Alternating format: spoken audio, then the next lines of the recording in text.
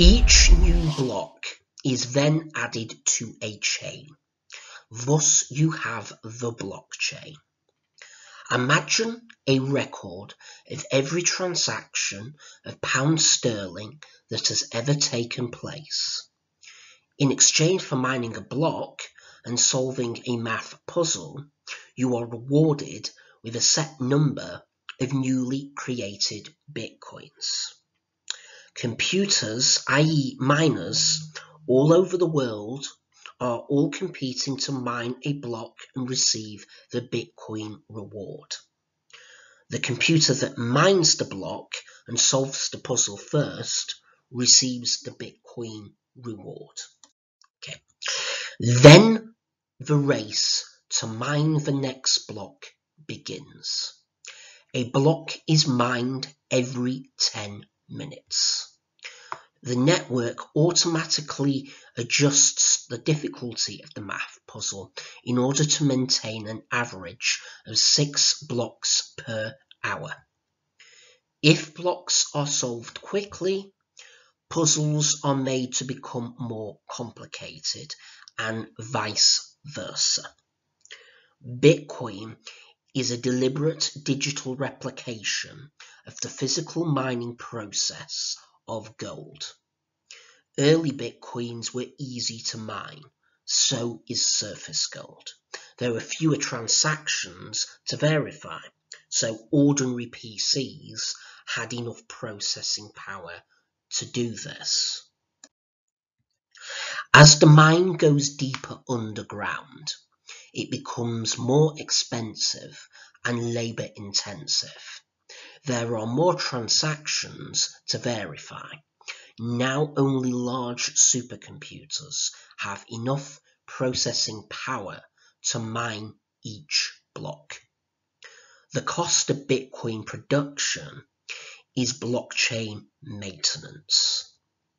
Initially, there were 50 coins created and released to every computer that was the first to mine a block. That number halves every four years until there is a maximum of 21 million units in circulation, and so therefore there is a finite supply. When that maximum number is reached, approximately by the year 2140, the reward for maintaining the blockchain will be small commissions paid by users every time they send coins. The effect is distribution and decentralization. One computer might crash, but another can always take its place. If a miner had 51% of the mining power, they could compromise the network but the resources required would be so costly that it would not be worth doing.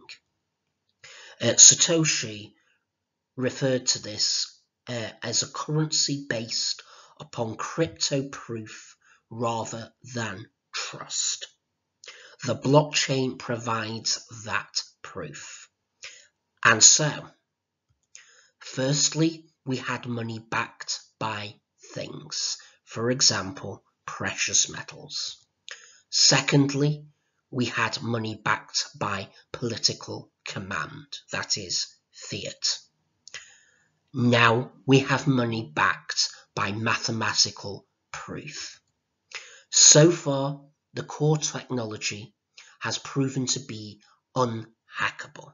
It has a very high grade of encryption and it is not subject to manipulation and abuse.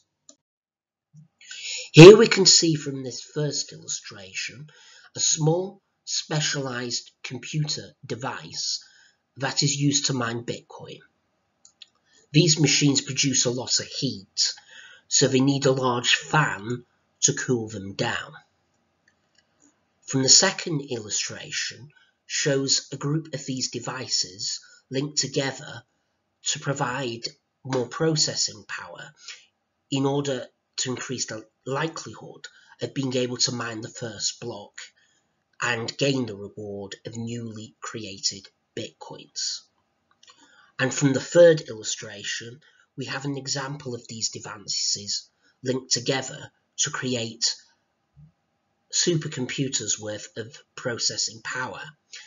And it is these mining farms built on this scale that have the best chance of succeeding these days in this sort of endeavour.